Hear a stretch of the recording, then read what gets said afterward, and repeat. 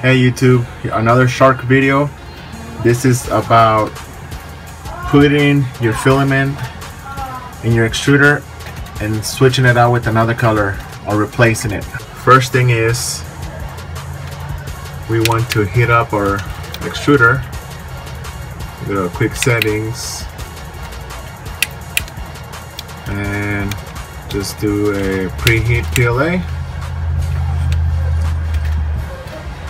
You can see my uh, amperage and voltage working.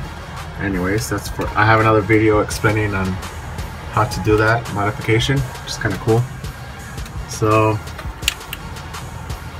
this is the setting where it's at.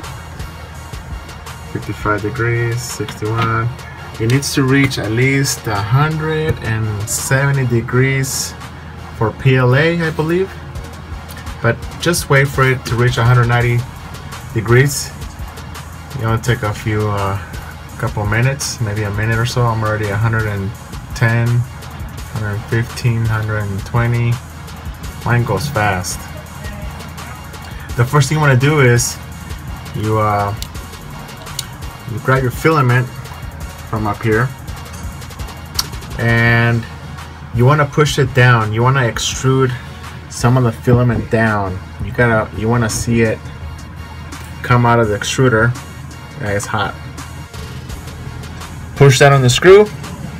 Very painful. And then you push down when it comes out, a couple, and then you just push up.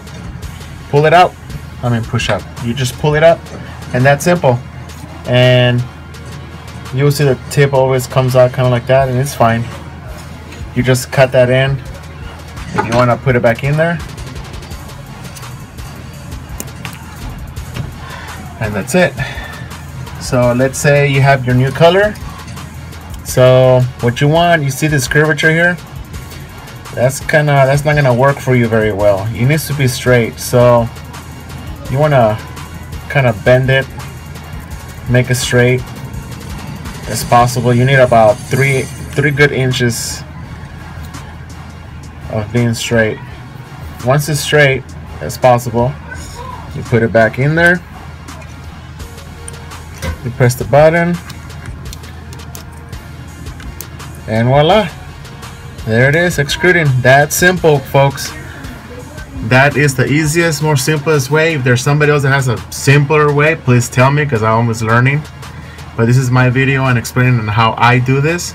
It's very simple and it works and it's fast. If you like this video please like share and subscribe I will be posting more helpful videos for you guys. Thanks again. Shark Toys out.